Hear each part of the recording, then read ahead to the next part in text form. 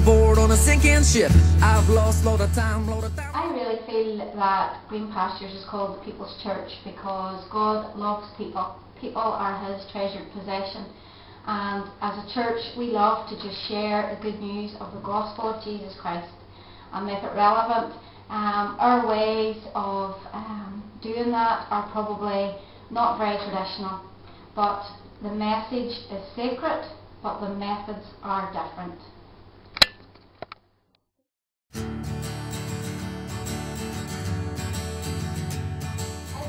That Green Pastures appeals to people and I really feel that we have grown in such a short space of time. Um, nearly five years now we have uh, 800 members. On a Sunday night we would experience up, anything up to maybe 900 on a Sunday night. We have two services now in the morning because we've had to create space to let families um, and parents with kids come and just worship God. Um, we are very family oriented, and I really believe that because we, like Jesus, accept people for how they are, um, even though they have, um, a lot of them have a lot of problems, some of them have addictions, some of them have a past uh, full of hurt, full of abuse, full of rejection. Um, but you know that our whole motto is based on Matthew 25, where I was a stranger and you took me in.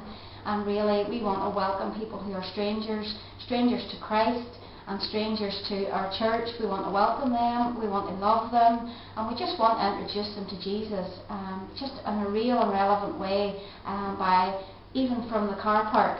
You know, they're greeted there, they're greeted at the front door. Um, I'm responsible for a ministry called Pathfinders, and that is solely for welcoming new people, for introducing them to everything that goes on at the church, for informing them of what the service times are, when our prayer meetings are, uh, everything from kids' church right through to youth right through to senior citizens, we have something for everyone. So I think it's because of that that we have found that because people can come just as they are, uh, we have no dress code. People can come in jeans, they can come in t-shirts, uh, because God looks at the inside, not on the outward appearance, but He looks at the inside. So we're there to love people, and I think because the greatest gift of all is love, I think people are getting that. I think they feel accepted, where in other churches that are more traditional, they may be rejected.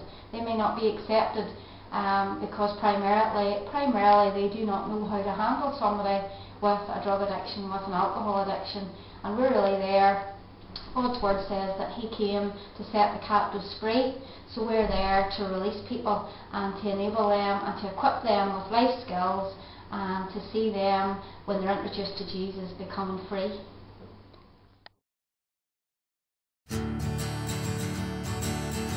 Uh, for me, I really don't feel that fire and brimstone preaching is really relevant for this day and age. I think this is the 21st century.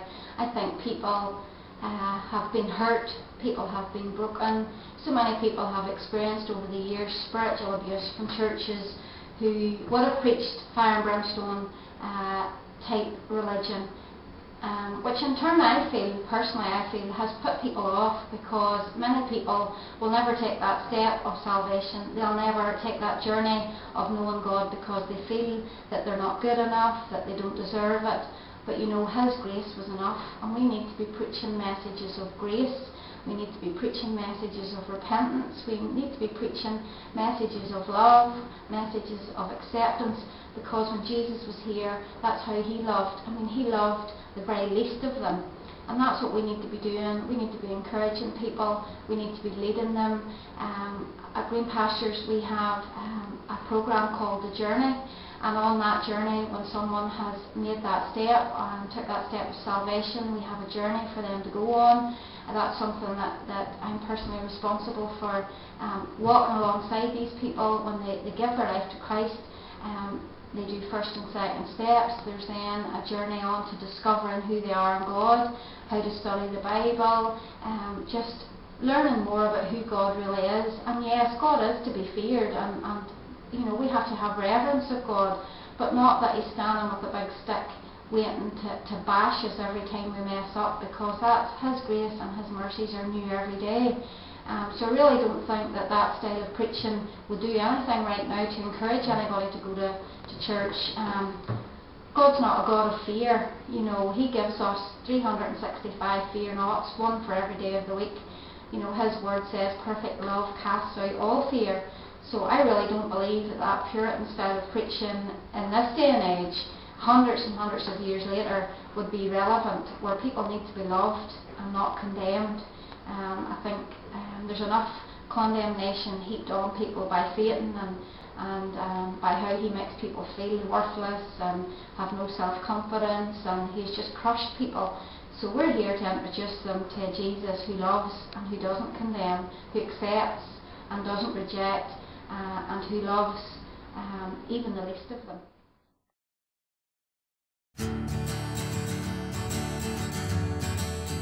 Uh, yeah, I really do feel that teaching the Word of God and showing love is the way forward. Um, I mean, as a church, we really base everything we do around God's Word.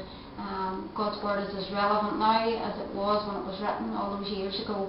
It is what, what I would call our sat nav for our journey in life.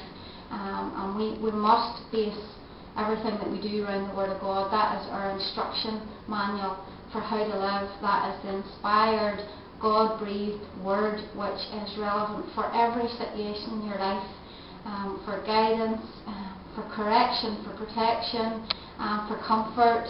Um, there's everything that you need in that book. So definitely um, the Word of God should be centre in everything that you do um, and the love of God because the greatest gift that He gave us was His Son because of love. So definitely that needs to be centre of everything that you do.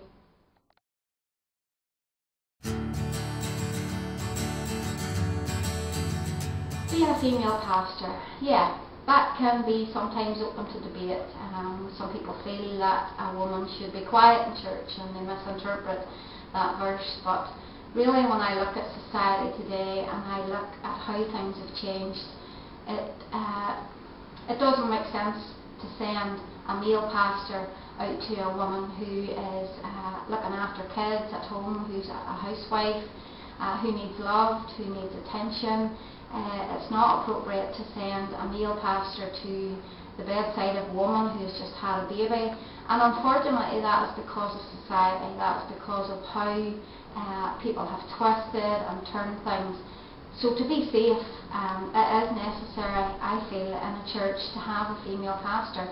Um, I really believe that God inspires me every day just as much with the truth of His Word, and I believe that I have something to offer. I believe I have something to share. Um, yes, I have a very important role as a wife and as a mum of two sons. That is a really important role that God has given me. But He has breathed life into me. Um, he has inspired me. I am really passionate about what I do for God, and I just I love what I do. And I do feel that God has created us all as individuals um, but I do feel being a female pastor is a very important part of church today. I really feel more churches should have female pastors because it's easier for a woman to relate to a woman. It's easier for a woman to open up to a woman. Um, and we're there to be shepherds of the flock. And I, I really feel that, that in this day and age that that is needed. That the traditional churches um, may well not have that visiting capacity that we have. Um, we have a church, as I said earlier, of nearly 800 congregation. Um, each one of those families will have been visited at least once throughout the year. Um, we're there to visit the sick. We're there to go and just call in and see people and see how they're doing and encourage them. Um, we're just on the ground, um, and you know, I often heard uh, this wee saying that a good shepherd stinks of sheep.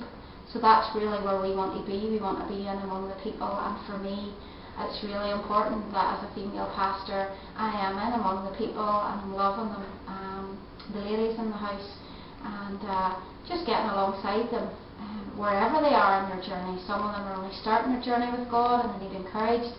Others have been on the road for quite a while and you know, we learn from each other.